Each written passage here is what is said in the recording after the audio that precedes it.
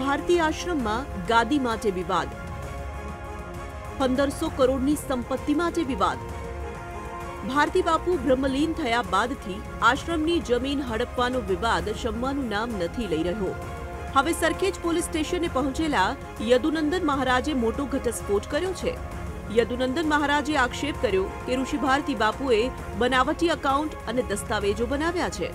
ભારતી બાપુના બ્રહ્મલીન થયાના એક મહિના પહેલા રાજકોટના વકીલ પાસે આ દસ્તાવેજ બનાવાયા છે તેમણે બે બિલ રજૂ કરી જેમાં ભારતી બાપુની બે અલગ અલગ સહી છે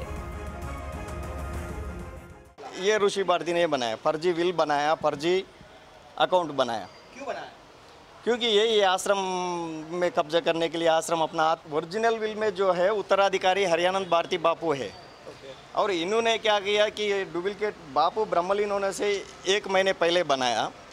और बापू एक महीने पहले यहाँ सरकेज आश्रम या खेवड़िया छोड़ के राजकोट के तरफ़ गया ही नहीं।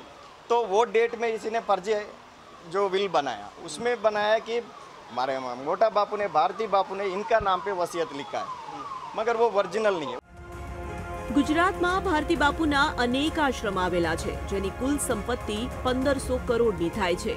આ સંપત્તિ પચાવી પાડવાનો કારસો રચાઈ રહ્યો છે. જૂનાગઢના મહંત હરિહરાનંદજી અને ઋષિ ભારતી એકબીજાની સામ સામે આવ્યા છે. હરિહરાનંદ બાપુ આશ્રમ વિવાદ મુદ્દે રહસ્યમય રીતે ગાયબ થયા હતા અને એક વિડીયોમાં આક્ષેપ પણ કર્યો હતો. જોકે બાદમાં હરિહરાનંદ બાપુ નાસિકથી મળી આવ્યા હતા. મન કશું જ નથી. એમ લખ્યું છે કે મારા બ્રહ્મલીન થયા બાદ શ્રી ભારતીય આશ્રમ સેવા ટ્રસ્ટ સરખેજ અમદાવાદની ગાદીએ મારા વિશ્વાસુ શિષ્ય હરિહરનના શિષ્ય ઋષિ ભારતી, ગુરુ શ્રી હરિયાન ભારતીની અમારા સાધુ સંતોના નિયમ મુજબ નિયુક્ત કરું છું અને તેમની સાથે કામ કરવા માટે મારા બે વિશ્વાસુ સેવકોનો ઉલ્લેખ છે. જોકે ઋષિ ભારતીએ પણ આજે મીડિયા સમક્ષ એક વિલ બતાવ્યું હતું. તેમણે દાવો કર્યો કે મારી પાસે જે વિલ છે, તે સાચું છે. તેમને ખોટી રીતે બદનામ કરાઈ રહ્યા છે. સરખેજ આશ્રમના ટ્રસ્ટી પણ મારી વિરુદ્ધ કાવતરા રચી રહ્યા છે. આશ્રમનું નામ ખરાબ ન થાય તે માટે અત્યાર સુધી હું ચૂપ હતો. ભારતી બાપુના જે વ્હીલ બનાવ્યા પછી એમને એક બીજું વ્હીલ બનાવ્યું છે.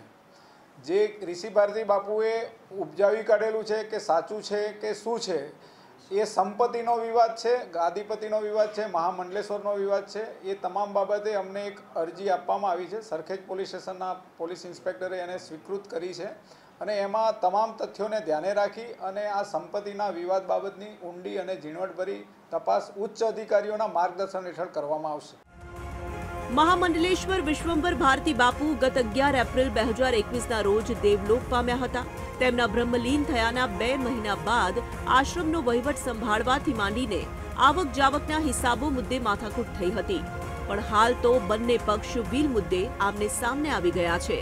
ત્યારે બે હજાર ઓગણીસનું વિલ સાચું છે કે બે હજાર એકવીસનું વિલ એ મુદ્દે કોર્ટમાં મેટર પડતર છે.